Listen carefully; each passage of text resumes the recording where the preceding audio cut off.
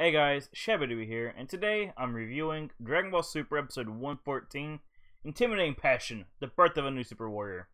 And in case you didn't know by now, the title gives the, the plot away for this, because anytime it says a new Super Warrior in regards to Dragon Ball, it's always talking about fusion. And the fusion is between Kale and Caulifla. Because this is the continuation of the Goku versus Caulifla fight we had last week.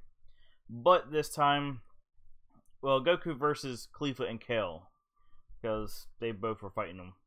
But yeah, for the first half of this fight, the Goku does lose pretty badly just because two on one using Super Saiyan 2 against like uh, the legendary Super Saiyan Berserk mode thing, whatever it's supposed to be, and Caulifla, who is highly annoying in this episode.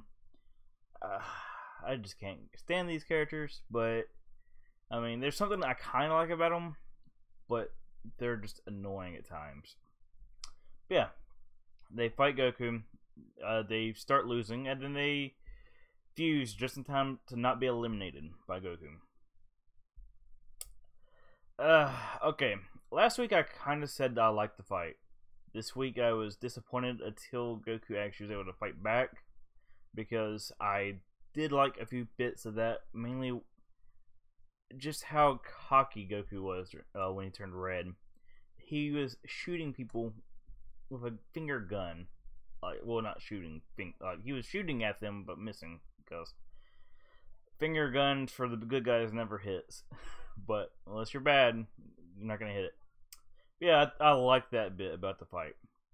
And then we had Frieza fighting a Power Ranger or something. I'm not sure what he was.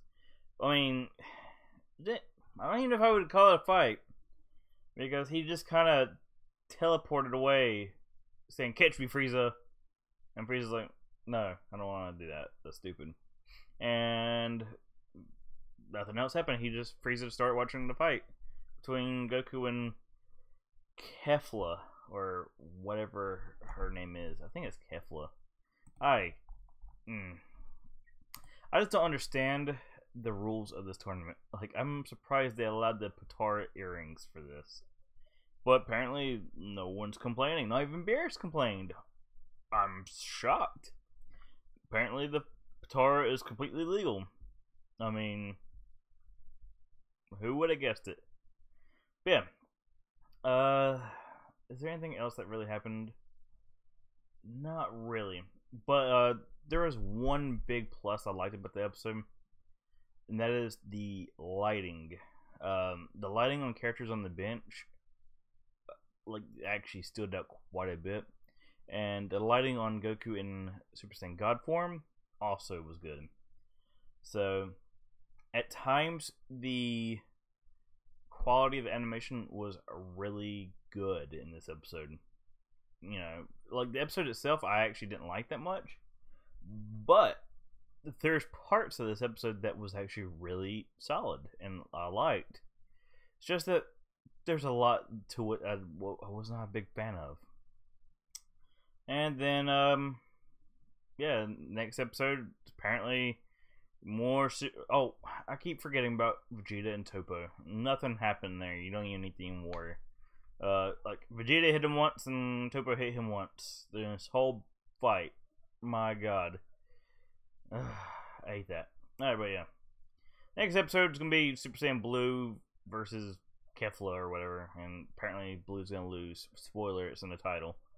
Alright, since I did not exactly like this episode that much, but I'm giving it credit because uh, I might not have liked it, but it was a well made episode.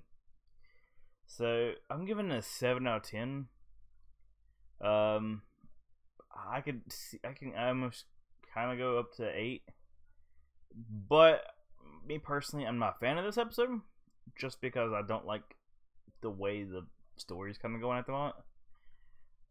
But everything else about the episode, besides the plot weirdness, is really solid. So I could see why some people might like this episode, but there's a lot to it I'm not a fan of. But hey, to each his own. And um, hope you guys liked the episode or like it enough to continue watching Super.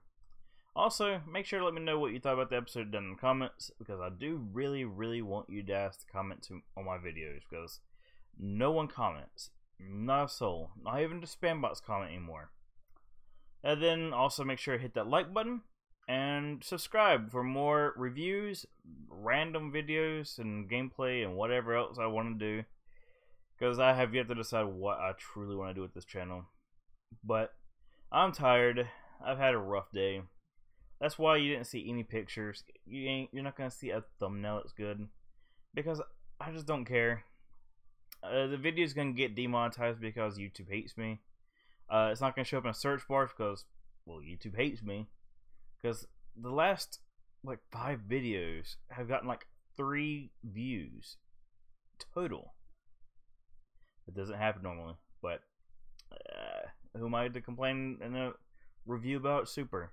So let's go ahead and wrap this up and have a fantastic day, guys. Um, stay tuned for next week because hopefully the plot will actually be better next week. Hopefully. I can hope. Alright, thanks for watching, guys, and peace out.